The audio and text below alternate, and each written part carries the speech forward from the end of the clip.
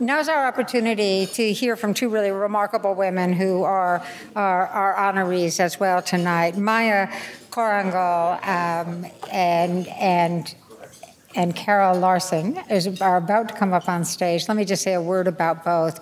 Maya um, spent most of her early life in Asia. She's the daughter of a of a German father and a Filipino mother. Do I have that right?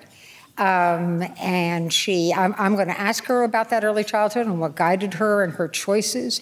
Uh, but she has been in the world of investment for throughout her career. Um, she's a graduate of Harvard, Harvard Business School.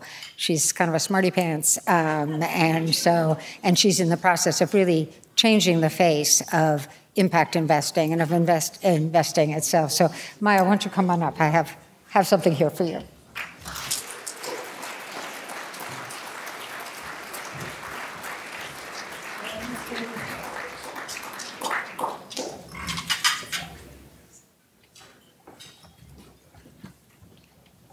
And now uh, it's, it's difficult for me to introduce Carol Larson. She's um, one of the most wonderful people in, in my life since I've been in, in California.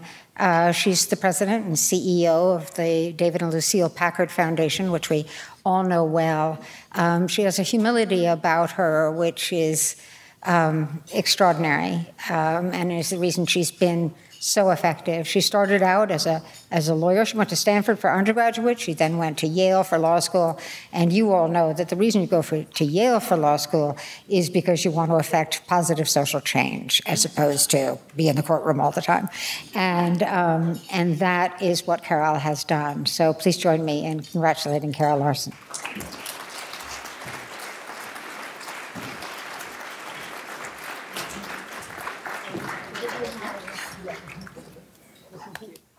I almost gave her Maya's award, so we're not that generous. Okay, grab Thank you.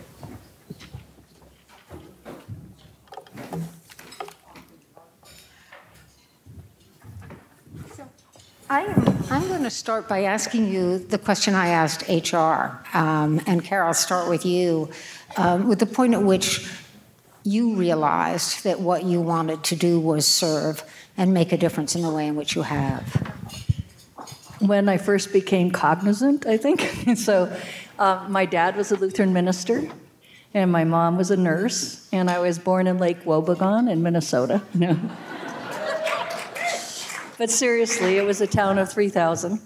But um, definitely, they had both chosen careers where it was part of their orientation in life that they were needed to live their life in a way that would be about doing something more for social good. And um, and we'll get into it, I'm sure. But then, probably by the time I was in ninth grade, eighth or ninth grade, I already knew I was very interested in not just that I loved kids, but I loved thinking about government policy toward kids and how can our country do a better job around that, which then propelled me to college and then right into law school. So I had the advantage of knowing what I wanted to do. I'll say one more thing. It was the, it, I graduated from high school in 71 and from law school in 75. No, 75 and 78. But it was the 70s were such a great decade for social change. Um, Marian Wright Edelman was my hero, heroine, and she had just started the Children's Defense Fund. And Mental Health Law Project had started, and the Disabilities Law Project had started. It was a time of real activism of young people and establishing public policy places for change. So that's where I was headed. And you were part of a piece of legislation where you're not pressing forward on legislation for disabled children. Right, is that yeah. right? So when I got out of law school, I clerked for a year, which is a great thing to do, and um, and then I worked for a nonprofit in Los Angeles because Right to Education for the Handicapped Act had just been passed. So all of a sudden, parents across the country who had been tremendous advocates for social change, had new rights vis a vis the school system to have individualized education plans for their kids. So I went to work training them in Los Angeles and really statewide about advocacy with, with, um, you know, with the school system. I, I, first should just mention that um, Carol's daughter, Britta, is here. Uh, there's Britta, right before my very eyes. Uh, and Nora, her niece, is also here. So thank you. And and but your eldest daughter is off. You you have to explain to us why she's not here. Yes. Well, does any is anyone wearing Allbirds? oh, come on. Yeah. All right. Good. So um, I went and thanked the Bain table because when when Britta's sister Hannah, who's now 27, graduated from college, uh, she was an Earth Systems major at Stanford. But then she had the wisdom, I think, to go work with Bain Consulting. And boy, they did a great job of professional development, feedback, teaching basic skills. And then she said, I really want to go and try a startup. And so she was a pretty early employee of Allbirds. Um, and it's a great shoe company, check it out. But she's their sustainability person, which is a big piece of their of their um, brand, right? And so she's flying all around the world on the really growing interest in sustainable apparel and getting carbon out of out of the supply chains. So that's where she is tonight, but she sends her best. so, so that apple didn't didn't uh, fall too far from the tree, and it sounds like and your parents passed on right. their values to you as well. Now, Maya, I'm going to ask the same question of you. Um, at what point, and what point did you become really aware of, conscious of poverty, and the notion that one could do something about it? I, I, I um, think about General McMaster. You said you were about three. I wasn't quite that young, but I was maybe five, six years old. And I grew up, my German father was a hotelier, and I actually grew up in a hotel. I grew up in uh, a hotel in Singapore. Um, it was a beautiful, um, clean, immaculately run hotel, which is what Germans do well. Um, and uh, um, I lived, uh, you know, on the top floor um, in an air-conditioned room, and every summer my family would go back to the Philippines, where my mother was from, and there was, you know, a huge long ride from the airport back to my grandparents' house, which was a very lovely house in a neighborhood. But on the way, when the car would stop, um, at stoplights, um, little children who were about my age would run up and knock on the car window and beg, and they had no shoes and they had tattered clothes, but they kind of looked like me. And um, as a small child, I would go to sleep at night. This is actually really true. Um, I would go to sleep at, at night and I would think about the fact that I was lucky enough to be um, sleeping in a safe house with a nice roof, in, you know, with my grandparents around me, and that there were these kids on the other side of the wall who basically lived in shacks, and how lucky I was that I was just born in the circumstances that I was. And um, when I got older, and my family had moved to the United States at that time, when I graduated from uh, college, um, I told my father um, and mother that I wanted to go join the Peace Corps. And, uh, you know, my father looked a little bit concerned, um, my mother a little concerned, you know, sending their kid off to, you know, somewhere in the world. And my father sort of said to me, um, as a good German does, that, well, I admire that, my dear. I think that's a wonderful plan, but you should have an apprenticeship. You should go and you should learn from people who can teach you, and you should do something with that. And then 10 years later, maybe 15 years later, 20 years later, don't lose hope of your dreams. Go back to doing what you want to do to do something good for the world, but maybe you can do more if you learn some skills along the way before you go join the Peace Corps. So those are my two stories. Well, and you you learn to form your own integrated life. Um, so so I guess going into economic development wasn't his hope for you. It was banking. Say something about your your early jobs. So I, um, when I graduated from college, I um, ended up um, uh, effectively listening to my father and. Uh, I ended up working for an investment bank called uh, Wolfensohn, um, which was a pretty amazing place, um, run by a gentleman named Jim Wolfensohn, who later went on become, to become uh, president of the World Bank. And we had global sort of clients around the world.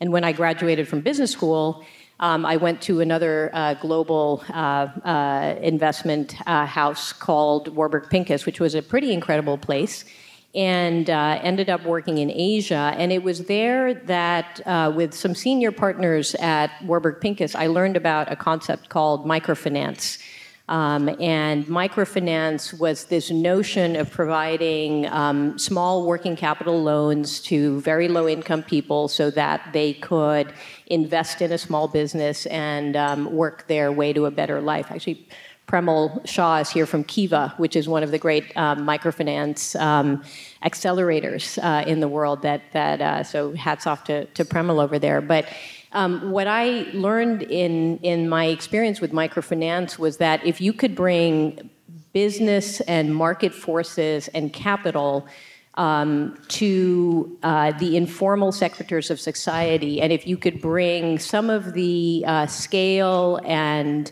innovation and creative thinking that you know came from here in Silicon Valley, that maybe you could say, scale solutions that would have a dent in poverty, and that could work side by side with philanthropy to make a change in the world. And so um, that was how my journey um, in microfinance started. And you know, I just wanted to say that the the main reason I'm here today is on behalf of my colleagues at the Rise Fund and TPG, who are sitting at several tables here. And this award is really for all of our collective work because what we're trying to do is show that business and um, and capitalism, which has a very um, uh, jaded uh, image around it today, but that we can take some of the tenets of the business world and use it to solve social problems, environmental problems, bring it to scale solutions in education, healthcare, clean energy, um, financial services, and do some good in the world. I think what's what's fascinating.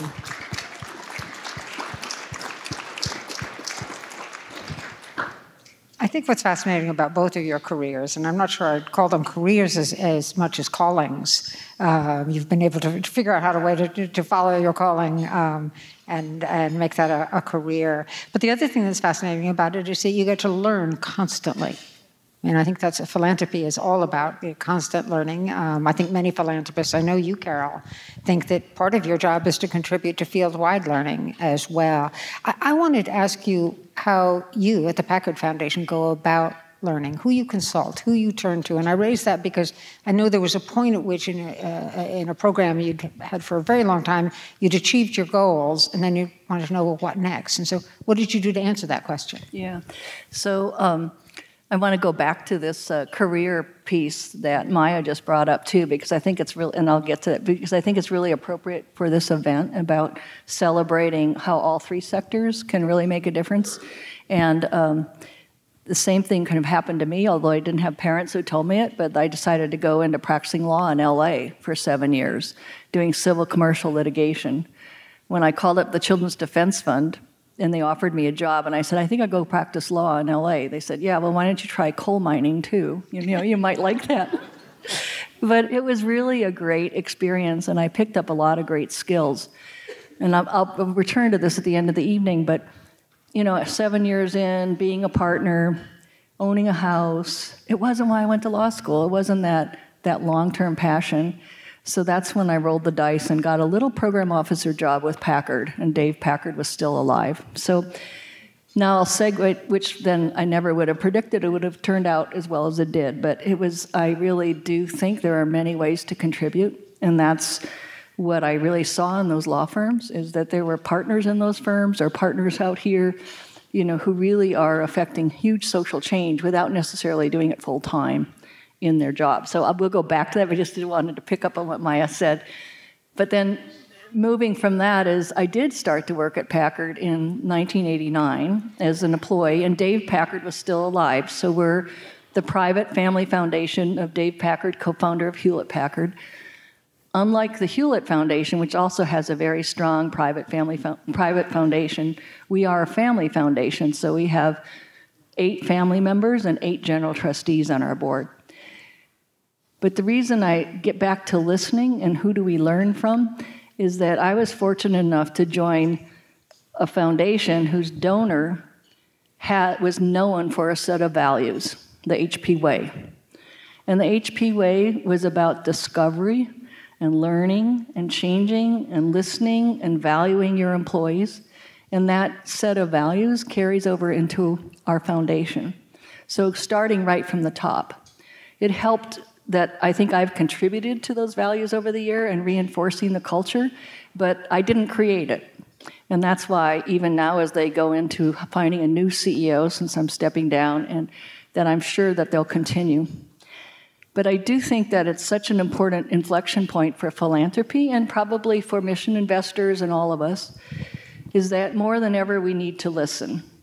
Um, when General McMaster was talking about strategic narcissism, I thought, is he talking about philanthropy? No. Over my 15 years as president at Packard, it's been huge the leadership of philanthropists to be more strategic, to really have goals and work toward them, and realizing how philanthropy can be a passing gear and needs to be needs to be about social change. But I think we also have sometimes been a little narcissistic about to the extent we had that answer. So we all need to get much better at listening and listening not just to our peers or people in this room, but listening to people on the ground, the people that Maya saw firsthand growing up. And at Packard, we really try to do that. So the best way we know when to change is if we have a good ear to the ground. And if we approach our work with people on the ground, in touch, not just us in Los Altos, deciding on our strategy. And um, so we, we need to keep improving on that. But that's, it, it goes back to Dave and Lucile, right? And that, that orientation. So I was actually thinking of, I realize now that your, the, the early childhood development program. Oh, yeah. That was, that, that hit this moment of inflection. And you went out and talked to families, didn't the, the foundation right, do that? Yeah. Well, we've focused on early childhood a lot uh, domestically. Um, and, you know, when you look, and this is a, this is a passion that I'm going to return to in my post Packard years, is how does this country support families of young children? and especially birth to three. So we had been focused on preschool for many years, Packard has, and with a lot of partners in the country and particularly in California, we pretty much have great expansion of eligibility for preschool and subsidized preschool. But if you look at birth to three, our country has changed in terms of how many are women are in the workforce, and yet we haven't evolved enough at all into how we support those families. I mean, even when Britta was a child, it was $1,000 a month, and I had two of them under five.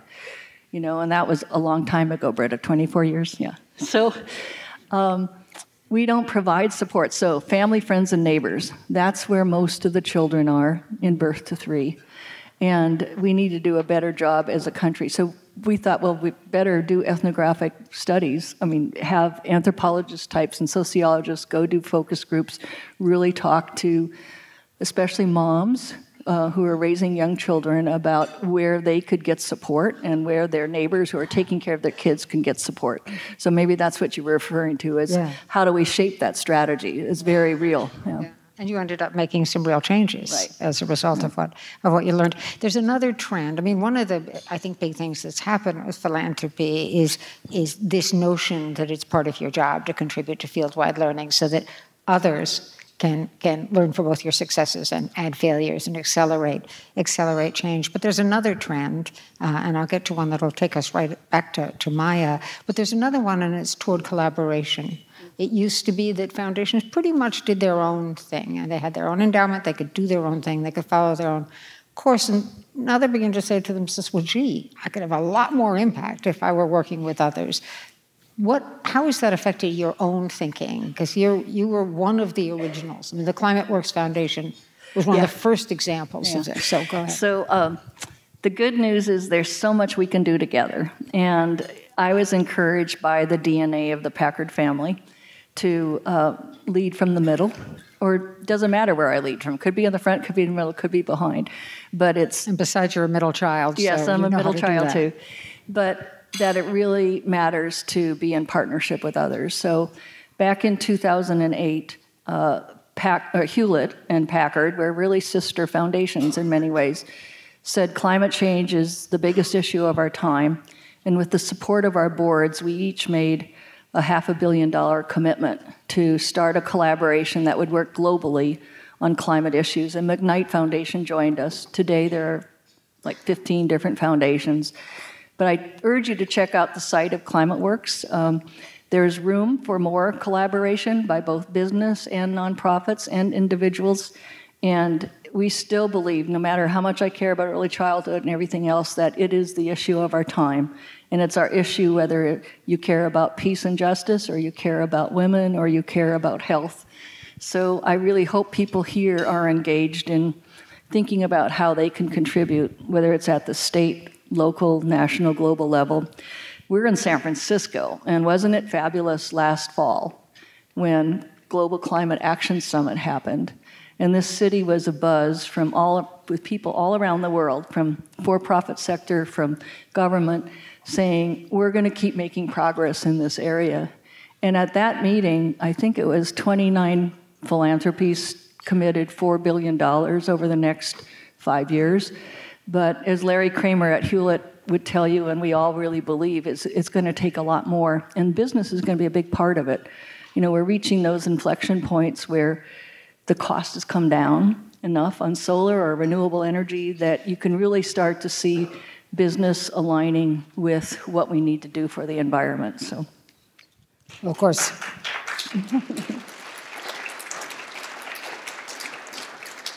course, that, that is an issue area where it is immediately apparent that all three sectors have a role to play. There's policy, there's business practice, uh, and of course philanthropy. The other big issue of our time, Maya, is inequality here, but also globally. Talk a little bit about the specific investments you're making at the Rise Fund, because they go in the field of education, they go in the field of financial services, their health, is a whole range of issues that affect the poverty equation. Share with us some of some of those investments so that we can picture what it is you do. Yeah, that's a that's a great question. I think that. Um, uh, if you look at the uh, portfolio that we've built um, with the Rise Fund, which is today um, close to about 30 uh, companies around the world, so in the US, but also Latin America, Africa, India, um, China, across healthcare, education, financial services, again, energy, food and agriculture, a lot of um, technology um, uh, embedded there. Um, a lot of what we're doing is democratizing access to uh, services. Um, a lot of what we're doing is about providing access to high quality education and healthcare. And one of the things that we do with our investments is to look um, very closely at what academic research um, tells us that, that the good of these investments do. And if you just look at our um, education portfolio, which um, has built a set of assets across personalized learning um, and vocational training, um, you know, if you look at one of our, our, our companies here um, in the US called Dreambox, and many in this room um, may have school age children who have used Dreambox to learn math. What we find is that um, kids, especially um, those, those children in public school systems that um, have a high proportion of free or you know, reduced lunch, who use these kinds of programs, have educational outcomes that are effectively far superior to um, what you would have if you don't have access to these kinds of technology. So, what Dream Dreambox does, for example, very simply, is it um, serves up a set of math questions to children and using very complex algorithms starts to uh, bring questions to children based on how it understands that child's brain works to solve a problem. And if you can imagine, you know, you have one teacher in a classroom of anywhere from 20 to 30 kids, and the one teacher can teach one method, but each child learns how to solve a problem pretty differently. And a tool like Dreambox can help the child get there. What's important, and, and, and if you think about um, inequality and, and poverty, is that education is one of the greatest boosts to um, to uh, uh, income attainment over lifetime, and that's been looked at and been studied and by vetted and been vetted by um, uh, lots of uh, scientific research. So if we can effectively um, uh, deliver these kinds of educational um, tools and aids to children in a way and through a business that is um, successful by its own merits as a business, but the core and sole purpose of that business is to help a child learn so that that child graduates and that child gets a better job and gets um, an income boost over their lifetime, this is one of the ways that we make a dent in poverty. And if you look across our healthcare portfolio, it's the same thing. Most um, individuals in the US or around the world um, fall back into poverty because they have a health incident in the family that they can't um, take care of. You know, a primary breadwinner, a breadwinner um, gets sick um, the ho- whole household loses its income. If you look in the emerging markets, they don't have any form of insurance, so that that um, that medical condition can't be taken care of. If we invest in healthcare um, a- across the board, we can improve their uh, economic circumstances. So these are the kinds of investments that we make to try and and uh, and reduce inequality in the world. So, Carol, the, the, the precursor to uh, fact, investing was program related investing and mission investing, and you'll probably have to define those, those terms for us. But this is an area in which Packard played a, a very big role starting in 1980. Yeah. Say something about that yeah. experience. It's great. Well, overall, what an exciting time to have the RISE Fund, to have so many people being involved on pushing this alignment between doing well and doing good, between social change. But there is another tool for philanthropies uh, called program related investments, where the market isn't seeing the opportunity. There's no one wanting to invest in it. And philanthropy under IRS regs can make a, an investment called a program related investment that our goal is basically to have the principal returned. It's usually a debt, in our case, a debt vehicle, and then make 1 or 2% interest. So some of the great, we've done $760 million worth of this in, since the 1980s. And um, some of the things that we've helped do is start agroforestry businesses, you know, to kind of prove their worth or de-risk it for equity investors. I'm particularly proud of what we've done in reproductive health and rights. Um, I'm sure we'll get to that before time's up, but the uh, that we we helped invest in a company that brought emergency contraception Plan B to market because for profit investors weren't doing it. We made the loan, they brought it through the FDA approval, a pharmaceutical company bought it out, and we've done this on a number of, of different things. So it's been a great vehicle. And right now, philanthropies across the country are looking at that whole spectrum, you know, from program related principal return all the way to full equity investment. And I just want to do one shout out because one of my favorite people, Bill Draper, is in the audience. And Draper Richard Kaplan and what they're doing with social entrepreneurs and really nurturing them as they start these great new, new companies. Uh, it's just an exciting time to be young. It's probably an exciting time to be 66 too, but anyway. There's so many levers for social change. And what's interesting to me is that each institution, each sector is now becoming increasingly aware of, of the other and the opportunity. But we think of philanthropy, Maya, as a place where you, you, you, can, you can create new models uh, that you hope others will then take to scale. And, and impact investing really started with the Rockefeller Foundation, or at least that, that concept talk a little bit about the concept and, and rise itself because it's it's different from other impact. And well it is a it is a real live normal investment firm that is investing for impact. Yeah and if i can start jane with just underscoring that notion that um, philanthropy and the government took a tremendous uh, they take tremendous risk. Um, and um, often the investments made by the government and the risk taken by philanthropies to um, fund different initiatives has paved the way for corporations and then financial investors like ourselves um, to, to come in and, and take those concepts forward. So the, the RISE Fund is, is fairly unique. Um, as, as Jane mentioned, the term impact investing was coined in about 2007 um, at a Rockefeller Foundation uh, event at, at, at Bellagio. And the concept of impact investing is to um, invest uh, with an objective of uh, both the production of social or environmental good, but also a financial return. But for the last 10 years or so, it hasn't been clear whether that financial return was going to be a market rate of return or a below market rate of return. And, and largely um, in the market, that, that was very unproven. And what the RISE Fund um, really set out to do was to institu- institutionalize this notion that there are investments that can be made where there isn't tension or friction between financial return and business success and uh, the creation of great impact. And so, what we um, wanted to do was to bring one of the great investing teams um, in global private equity, which is the, the team at TPG Growth.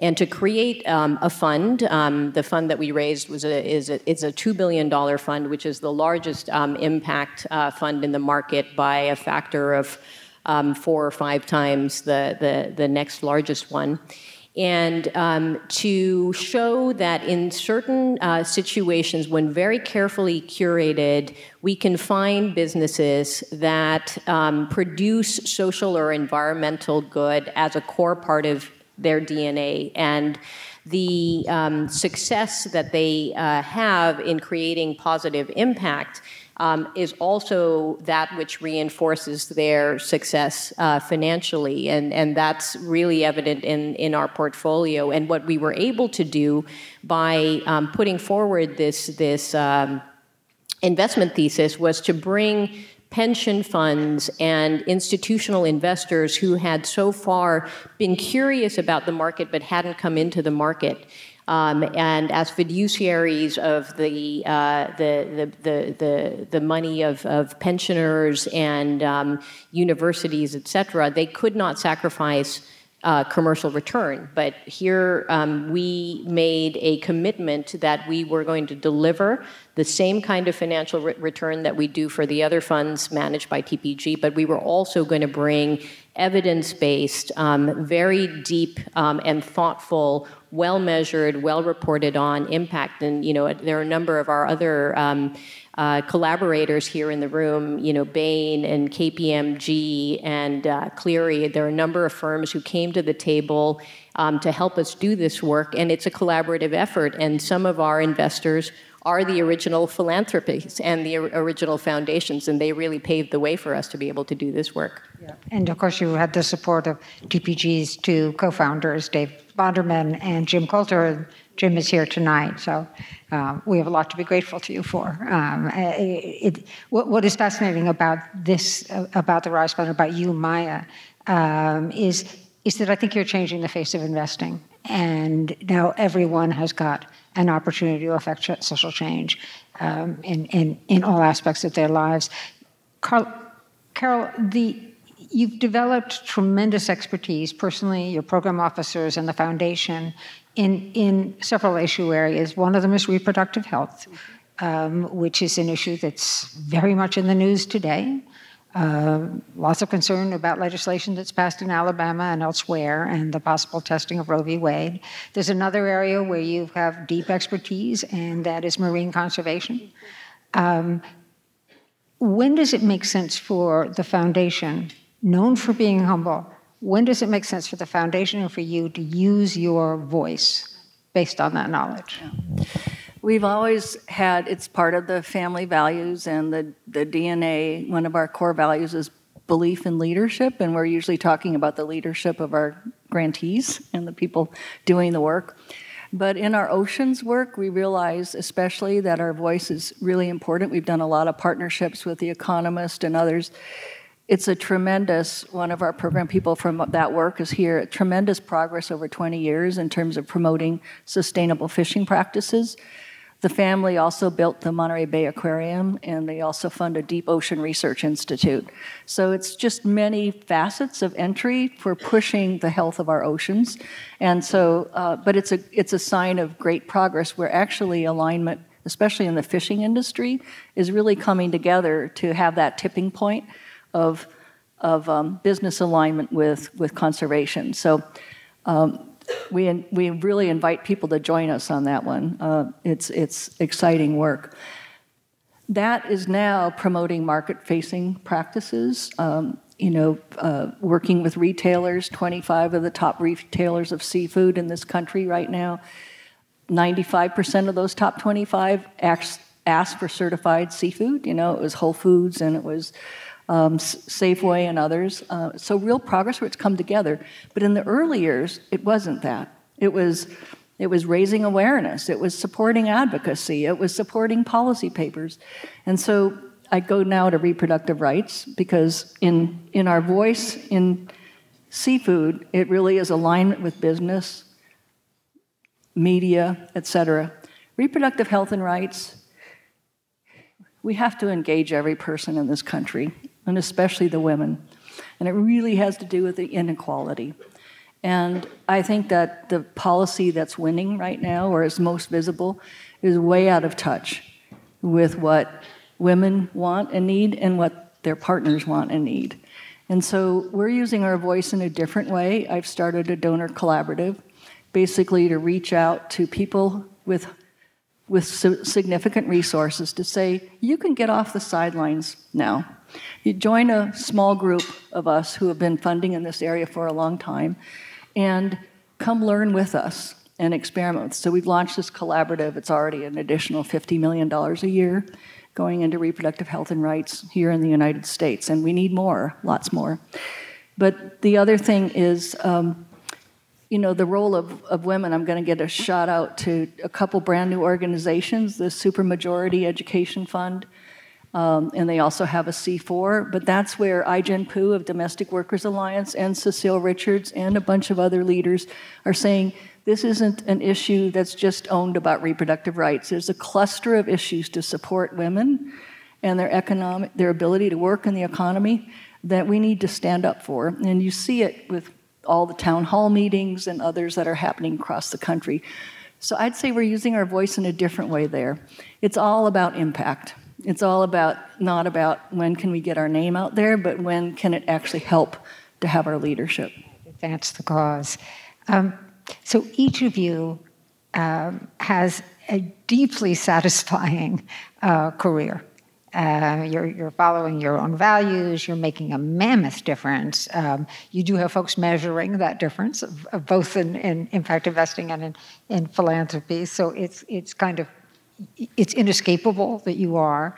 Um, Carol, I'm going to start with you and ask you if you have advice for the students here, um, and if there's something that you haven't yet done in your career that you'd like still to do.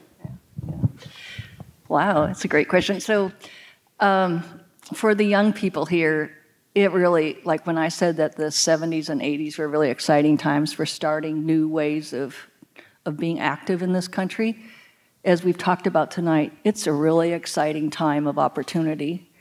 And Dave Packard, one of our favorite sayings at Packard is he would give the advice, it was about oceans, I think, but it was go deep and stay long. So I'm going to apply that to you as an individual. You know, go deep in your heart and what really thrills you. For me, it ended up being early childhood. And stay long but there's not one way. You could go to Bain for a few years. You could go to Rise Fund. You could go teach and teach for America. You could go into a philanthropy. The path forward is, is many, many options. And if you go deep and stay centered in what you care about, you're going to live a really full life if you devote yourself to trying to make the world a better place. So I don't think Dave ever used the expression in that way, but just hearing and seeing the young people tonight, it, it rings true for me. So, HR, am I right that two of your daughters have been to Teach for America? Yeah. So, doesn't matter which sector you choose, you can serve. Maya, same question to you. I, I, I think what, what I would add, and I, I wholly agree with, with um, um, what my, my fellow honorees have said, is um, life is an apprenticeship. And one of the best things that you can do if you're lucky enough is to work um, from uh, work with individuals who are great at their craft. Um, and, you know, life never stops being an apprenticeship. For me, um, it's been working with some of the greatest in, in investors of all time. You know, Mr. Coulter over there um, being one today. My colleagues at the, the the tables here, learning from them every day. But when you work with people who are great at their craft and love what they do, it'll make you better. And I think. Um, Jane, in, in you, we have some a shining example of someone who is really, really, really gifted at at her craft, partly because you love it so much. And if you're lucky, if you're lucky to find that, um, you know, li- life is long, but you you can never stop learning, and and it's an apprenticeship all the way. So please join me in celebrating all three of our honorees. HR Maya Carol.